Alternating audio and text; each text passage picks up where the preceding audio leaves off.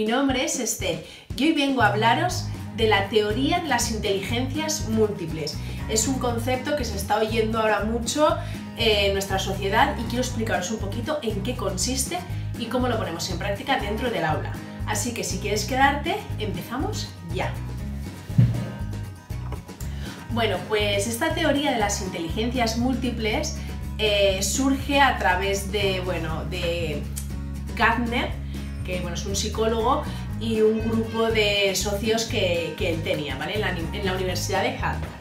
Entonces, a ver, eh, lo que consiste esto es en que el ser humano no solamente tiene una inteligencia, ¿vale? Eh, tengo aquí unas chuletillas porque esto es un poco difícil de, de explicar, así que voy a ello, ¿vale? Eh, bueno, pues eso, el ser humano no tiene una sola inteligencia, sino que estamos compuestos por eh, inteligencias varias, ¿vale?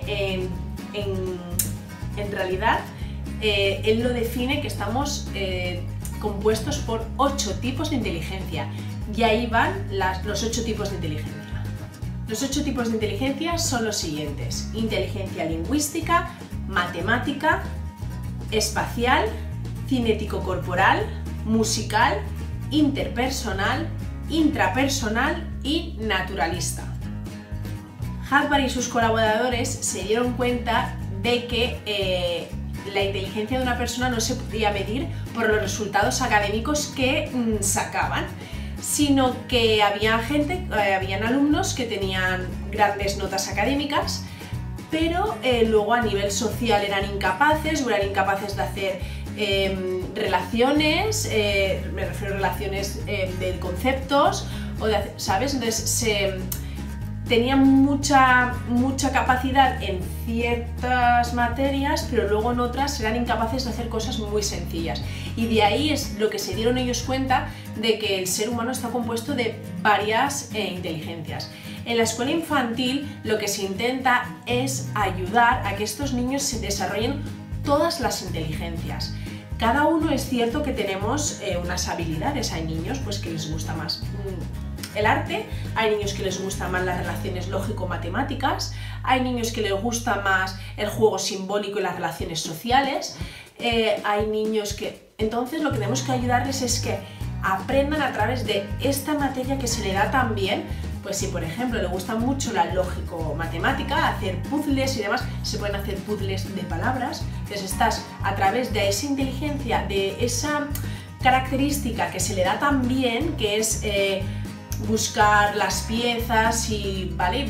ver la, lógica en, en ese puzzle, ayudarle a trabajar la lingüística a través de aquella mm, inteligencia que se le da tan bien. Sé que esto es un poquito difícil de explicar y de ver, pero bueno, espero que, me podáis entender. Eh, voy a explicar brevemente cada una de, estas inteligencias, ¿vale? La inteligencia lingüística es por la que voy a empezar y hace voy a leer un poquito, ¿vale? Porque no quiero decirlo mal. Eh, no, no, solamente hace referencia a la comunicación oral, sino también a otras formas de comunicarse, la gestualidad, la escritura y demás, ¿vale? Eh, así que bueno, em, esta, bueno, esta inteligencia sería la que domina en los políticos, escritores, mm, poetas, periodistas, actores y demás, ¿vale? Todas las inteligencias se pueden trabajar, ¿vale? ¿Cómo potenciar la inteligencia lingüística? Bueno, pues algunas de las actividades podrían ser un diario, hacer un diario personal, em, escribir brevemente sobre aquello que más te interesa, Em, dialogar mucho con personas, leer mucho y bien, mm, escuchar poesía, leer, o sea, perdona, leer poesía, escuchar música. Este tipo de mejoras en la inteligencia lingüística eh, están enfocadas hacia el adulto, pero hacia el niño, mm, modificadas un poco, podrían utilizarse igualmente. Así que si tú crees que lo que más te caracteriza es una inteligencia lingüística, a por ella. Vamos con la inteligencia matemática. Esta inteligencia se creía antiguamente que era la inteligencia bruta de la persona. El que tenía inteligencia matemática era lo mejor de lo mejor. Y se ha visto que no es así. Esta inteligencia hace referencia a la capacidad para el razonamiento lógico, para problemas matemáticos, ¿vale? Lo que os he comentado antes. Entonces, bueno, este, mm, esta inteligencia caracteriza a los matemáticos, a los economistas, a los académicos, ingenieros, etc. Eh, ¿Cómo mejorar la inteligencia matemática? Bueno, pues la inteligencia lógico-matemática eh, se mejora intentando en nuestro día a día poner en marcha mm, problemas matemáticos que nos vayan surgiendo. Eh, puede ser un poco tedioso hacer este tipo de ejercicios, mm, pero realmente es lo que ayuda a mejorar nuestra inteligencia lógico-matemática. Además, eh, bueno, todos estos ejercicios serían de cálculo mental. A los niños les encanta hacer este tipo de juegos, así que si crees que tú o tu hijo tiene inteligencia matemática mm, de sobra, te invito a que hagas este tipo de ejercicios. La inteligencia espacial hace referencia a la capacidad de observar el mundo y los objetos desde diferentes perspectivas. Eh, mm, esto definiría a las personas que son pues, pintores, fotógrafos, diseñadores, publicistas, creativos, mm, arquitectos. Eh, ¿Cómo mejorar la inteligencia espacial? La inteligencia espacial se puede trabajar tan fácilmente mm, como aparcando el coche, como construyendo una maqueta, como jugar a orientarse en ciertos lugares. Eh, de esta manera es como trabajarás la inteligencia espacial. Una forma muy divertida con los niños para trabajar la inteligencia espacial es a, a través de tangrams o el cubo de Rubik. Pasamos a la inteligencia musical. La inteligencia musical es una inteligencia que, que tenemos todos los seres humanos, solo que en unos es más latente que en otros. Y en los que es más latente, bueno, pues son los músicos, mm, creativos musicales, mm, etc.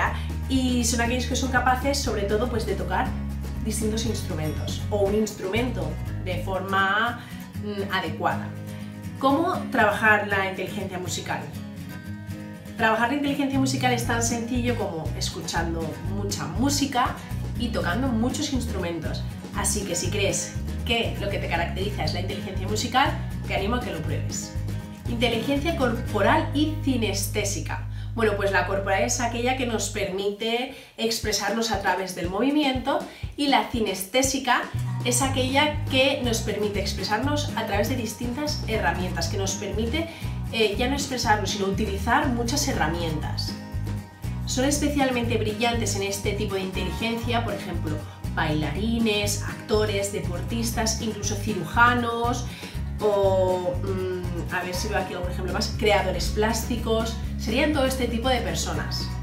La inteligencia intrapersonal es aquella que, en la que destacan las personas que son capaces de conocerse a sí mismos y controlar sus emociones y sentimientos. Son capaces de acceder, reflexionar sobre todas estas cosas, sobre todos sus sentimientos y sobre todas sus emociones. La inteligencia interpersonal es la que hace referencia a la capacidad de mm, ponerse en el lugar del otro, la empatía propiamente dicho. Es la capacidad que tienen las personas por ponerse en el lugar del otro y comprender cómo se sienten los demás.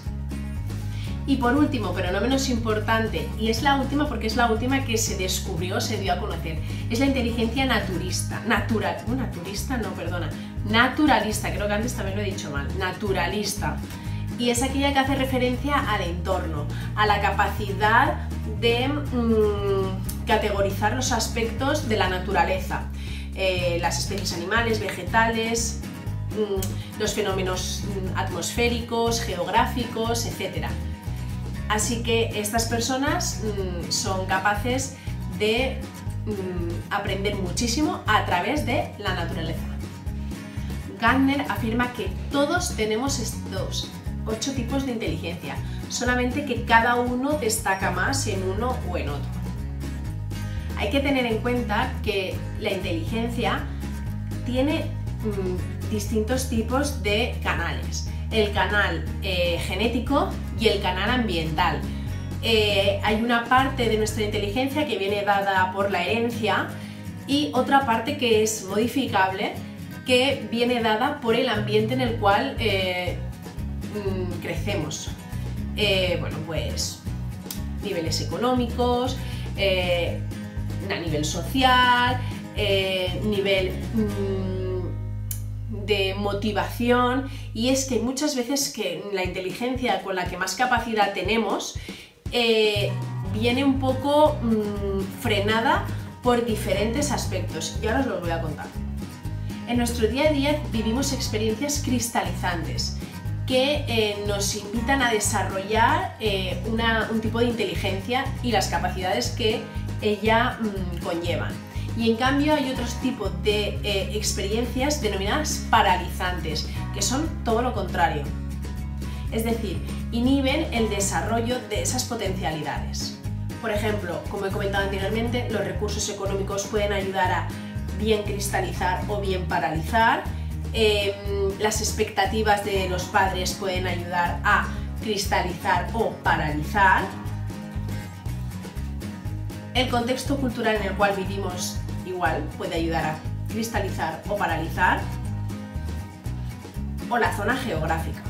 Así que bueno, espero haberos ayudado a un poco clarificar qué es esto de las eh, inteligencias múltiples.